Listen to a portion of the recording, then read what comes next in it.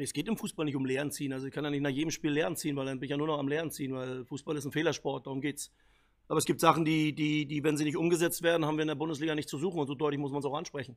Es gibt Sachen, die uns stark gemacht haben und es gibt Sachen, die uns über einen langen Zeitraum immer wieder, ich sage jetzt mal, in die Bedrohung bringen.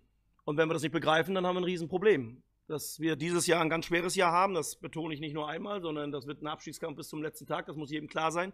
Und für uns ist jedes Spiel ein Endspiel. Und das nicht nur im DFB-Pokal, sondern auch in der Liga. Und das sind Endspiele, bedeuten, dass ich dann nur diese eine Chance in diesem Spiel habe. Und wenn ich die so wegwerfe wie in Leipzig, und das hat nichts damit zu tun, dass ich in Leipzig verlieren kann, das hat was damit zu tun, dass ich aus meiner Sicht ein gutes Torverhältnis habe und das auch außer Hand gegeben habe.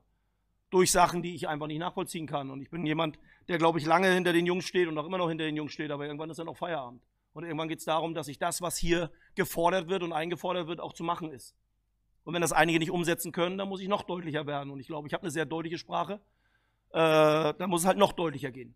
Und wer das nicht begreift, da muss man halt auch mal ihnen erklären, was Bundesliga bedeutet. Und Bundesliga ist die höchste Liga, ist das, wofür wir alle arbeiten, ist das, wo wir stolz drauf sein können, wenn du dabei sein darfst. Und das erwarte ich, das zu sehen. Und da erwarte ich nicht fünf Minuten vor Halbzeit, dass wir die Köpfe hängen lassen und aufhören. Und das ist einfach so. Und da werde ich relativ deutlich sein, so wie ich es jetzt auch bin, weil es gibt dann Sachen, die im Fußball nicht dazugehören. Es gehören Niederlagen dazu, es gehören Fehler dazu. Ähm, damit müssen wir umgehen, das kann man aufarbeiten. Was man nicht aufarbeiten kann, ist Körpersprache.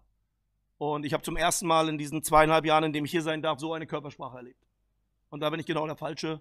Und das versuche ich den Jungs nachher, ich hoffe, sehr ruhig und sachlich rüberzubringen. Wir suchen jetzt keine Gründe bei anderen. Es geht um Körpersprache. Dass ich in Leipzig einen Arsch voll kriegen kann, okay.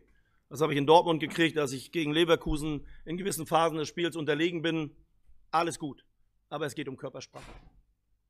Und Körpersprache, Einstellung, Mentalität gehört im Fußball immer dazu. Ob ich 3-0 verliere oder 3-0 gewinne. Und wenn ich die nicht auf den Platz bringe, dann habe ich ein Problem. Ich habe ein Problem damit. Weil dafür war ich ein Spieler, der nur darüber Erfolg hatte. Und das glaube ich auch, dass ich das als Körper, als Trainer verkörper. Und wenn ich eine Mannschaft habe, die dann die Körpersprache nicht an den Tag legt, dann bin ich das wirklich, und das sage ich genauso deutlich, wirklich irgendwann mal angepisst.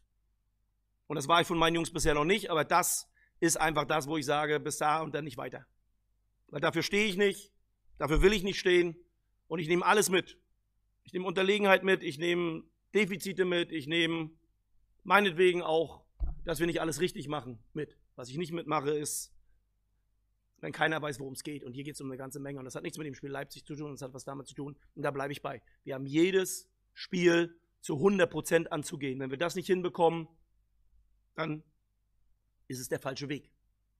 Und ich würde gerne diesen Weg nicht einschlagen, sondern ich würde diesen Weg einschlagen, was die Jungs über zweieinhalb Jahre gebracht haben, dass sie sich in jedem Spiel, egal wie es ausgegangen ist, sich den Arsch aufgerissen haben bis zum Ende. Und das habe ich in Leipzig nicht gesehen. Und das ist auch meine große Enttäuschung.